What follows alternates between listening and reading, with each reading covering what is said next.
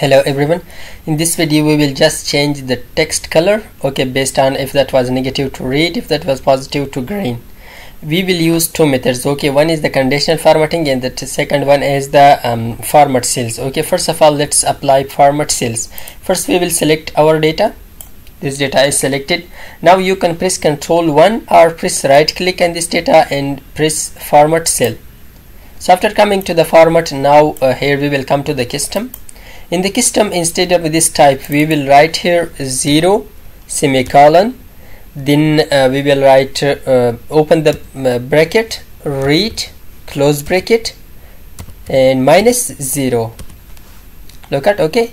0 semicolon open the uh, bracket red close it minus 0 press ok see that has applied. The data which is minus so that has changed to uh, red we can also apply for green to apply green color on uh, the positive numbers. So let's do it. So for the green we will just write before the zero the first zero we will write in brackets green.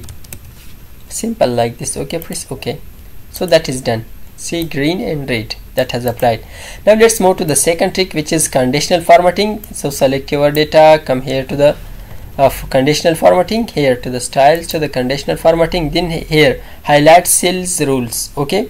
Then come here to the greater than.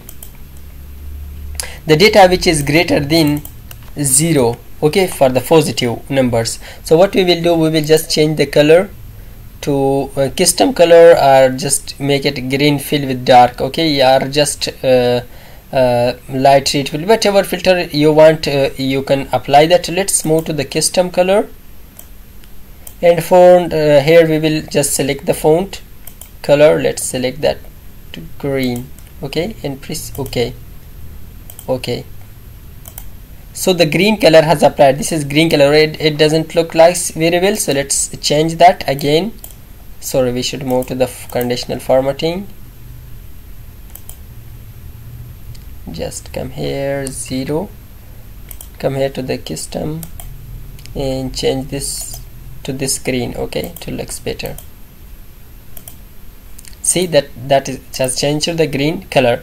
Now to the minus color we can also apply a minus color conditional less than if that was less than zero the data which is less than zero so we can change the text color red text okay? Press ok so that has applied that has changed to the red we can also fill the cell uh, red fill and green fill also these cells so it was all about how to change the text um, in excel. Uh, these were two methods that we have applied. I hope this video was helpful for you. If you like this video don't forget to subscribe our youtube channel. Thanks for watching